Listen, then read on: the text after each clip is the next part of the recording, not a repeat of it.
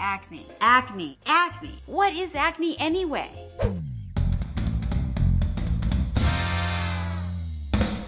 Now, there are a lot of different types of acne. Acne mechanica, acne fulminant, pyoderma facial, acne conglobata, consort acne, pomade acne, acne rosacea. But the most common form of acne, the one that we generally refer to when we simply say acne, is acne vulgaris. These are the blackheads and the whiteheads and the bright red pimples that torment us in our teenage years, that sometimes turn into papules, pustules, nodules, cysts. That may sound like a lot of fancy doctor talk, but what's actually happening happening inside your skin is really quite simple, kind of. All you really need to know is that your skin is constantly shedding dead cells. It's the natural way that our skin breathes and rejuvenates itself. Some of those dead skin cells get out through your body through tiny little holes called pores. People, everybody hates their pores. People talk about them nonstop. These pores are connected to the oil glands through a canal called a follicle. These oil glands produce a greasy substance substance called sebum, which is your body's own natural moisturizer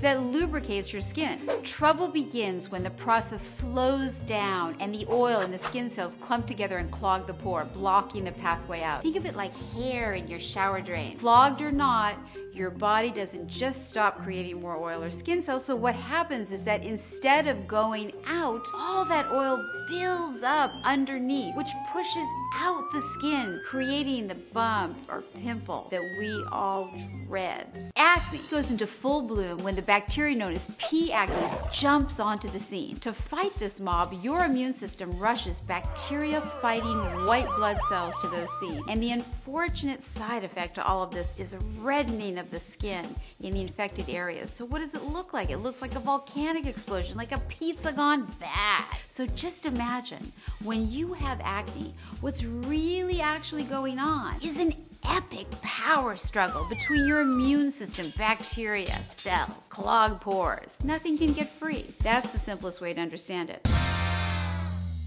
Acne tips. Number one, use an acne skin routine twice a day, every day for the years you have acne. Number two, ideally, your skin routine should contain some combination of benzoyl peroxide, salicylic acid, and an alpha hydroxy acid, such as glycolic acid. Number three, use a moisturizer. All acne treatments are drying to the skin, and you will have a reflex oiliness unless you use a lightweight moisturizer. Number four, try some do it yourself acne remedies, such as plain Greek yogurt. Mix with a spoonful of honey. Apply it to your face. Another option is plain egg yolk. For more recipes, see my book, Heal Your Skin. And number five, if your acne is severe and is not going away, don't waste any time. Go see your dermatologist. I hope you enjoyed and were informed by this video. Be sure to subscribe and check out the links to some of our other videos here and leave your thoughts in the comments below. I'm Dr. Ava Shamban, and this is Dr. Ava Says.